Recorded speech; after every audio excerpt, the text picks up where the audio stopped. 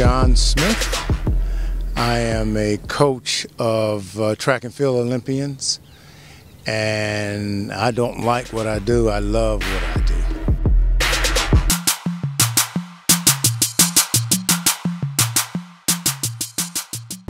John Smith is arguably the most decorated Olympic track and field coach in the world, but he wasn't always sold on the idea of coaching.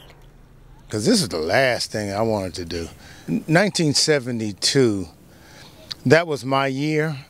Um, I was the number one uh, quarter miler in the world at the time, and I had all these great aspirations and gold medal. After suffering a hamstring injury two weeks before the 1972 Olympic Games, he was forced to rethink his future as a pro sprinter. When I first started coaching, um, none of the elite athletes wanted me to work with them. These days, world champion sprinters are tracking him down. I remember calling up my dad and saying, I know who I want to coach me. And so I ended up knocking on his hotel door uh, asking him if I could speak to him. We went out on his balcony, and I looked him in the eye and said, "You're going to be my coach." That's 100 meter sprinter English Gardner, who recently placed first in the Olympic trials on her home track at the University of Oregon. He's, you know, been at games before. You know, he's won medals with other athletes. He's had world records himself. You know, he's an all-around great competitor. Gardner isn't the only one tracking him down. While this is Gardner's first Olympic Games, it is three time Olympic competitor Tyson Gay's last. Well, John Smith uh, known me um, since I was young in college, and um, I always respected his philosophy, you know, and how he done things. And I kind of wanted to see what it's like to train with uh, arguably the greatest coach of all time. Um, I've learned a lot, and that's the most important thing. I've learned a lot on the track and off the track you know, and um, I think that's something that I can carry with me, you know, with the rest of my life and also share with my children as well some of the things that he's taught me.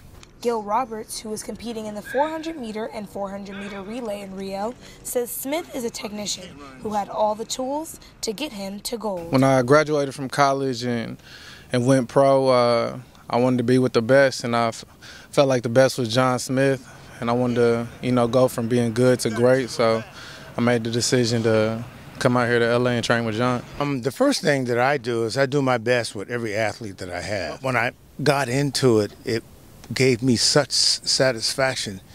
It hit me deep into the core of my existence. It made me feel like I had purpose. Every big movement that I've ever read about, that I've ever seen, always has a leader. It always has somebody who kind of paves the way and shows you the direction that you're going to. And so that's kind of what he's been like for me. The sacrifices and dedication whether uh, the discipline, you know, um, all of those things, and we're behind closed doors, you know. Um, and it's uh, and it's tough being able to do that, you know, consistently year after year after year. When I get on the track, I turn into a beast, an animal, you know, a person who's not afraid of anything, who has confidence, who has faith that you know they prepared themselves for that moment, and everything that is from here on out has been dress rehearsal. You know, I'm never gonna hurt as much as I did out here in practice.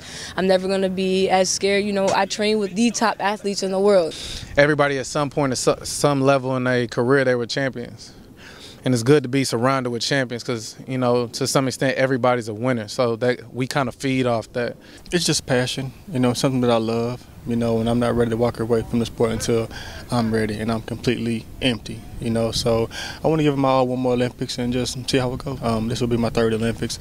And as long as i come on with that gold medal in the relay i'll be satisfied. Whether it's their first olympics or their last the goal is gold. For Smith, it is to make sure his athletes are on top of the podium. For the Los Angeles Sentinel, I'm Lauren Jones, reporting.